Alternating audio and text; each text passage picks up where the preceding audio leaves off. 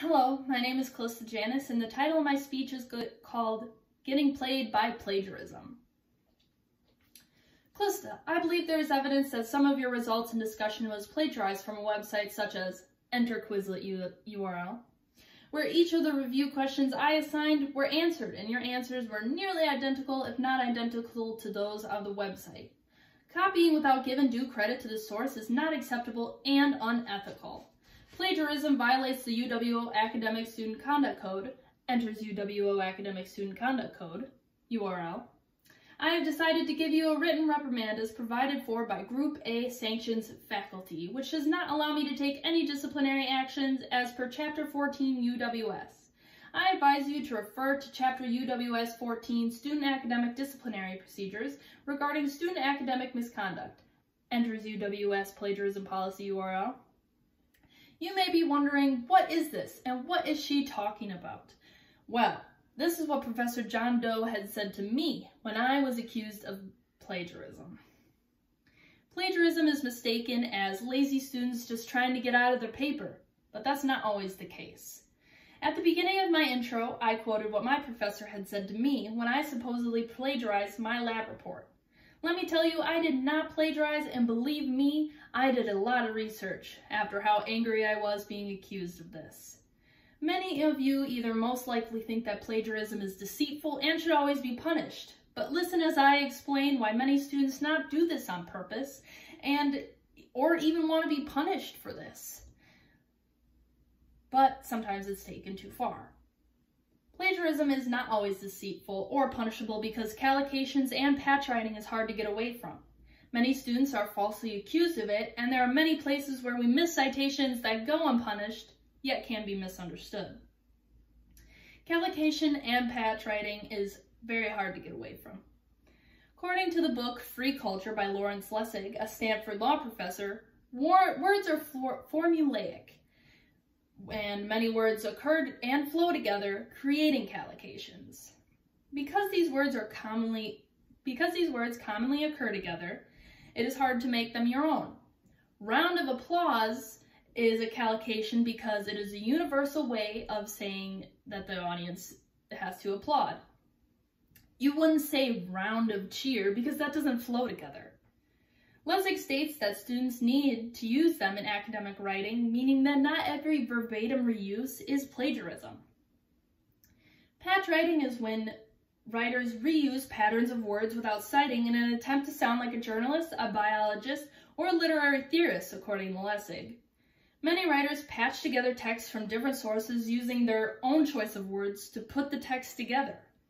In a journal article called Good and Original, Plagiarism and Patch Writing in academic second language writing by Diane Pecorari, that was pre present, presented to the Department of English, Stockholm University. She argues that novice writers need support when writing and that these writers do not fully understand what they're reading, so they can't necessarily give a in your own words explanation. This creates a patch written statement. As a developmental stage, she says that patch writing deserves to be taught, not punished.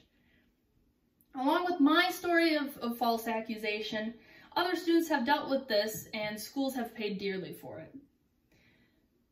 University of Chicago, Illinois alumni Angela Henderson was falsely accused of plagiarism. According to the website Plagiarism Today, in August 2013, Henderson had earned her PhD in nursing from UIC and took a job in December that year as an interim provost for Chicago State University and held that job until 2018. Shortly after Henderson took that job, a now retired CSU history teacher accused her of plagiarism. However, the an independent hearing officer cleared her of these allegations, but Henderson was not satisfied. She had filed a lawsuit against UIC for the reason of them improperly discussing the investigation with the media.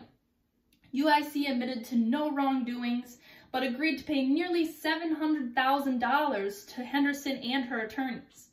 This amount included potential loss of future earnings, emotional distress, attorney fees, and reputation management services.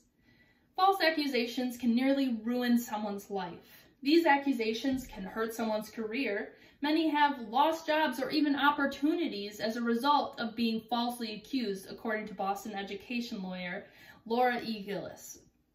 In response to many lawsuits to universities, these universities should be careful to draw conclusions to cheating or plagiarism, said Robert Holmes, president of Association for Student Conduct Administrators. There are many places we miss these citations that go unpunished and ignored. Do you remember any of your professors that provided you notes in class with a works cited page at the end of their notes? That's funny, me neither. Many professors do not have their notes cited. Professors using pictures, pictures from the internet without citations. And I do have an example for you. This, these are notes from one of my previous classes. And as you can see, here's the title page. Oh my gosh.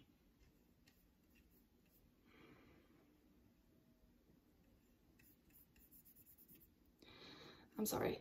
Um, here is some of the pages and you can see there are no citing.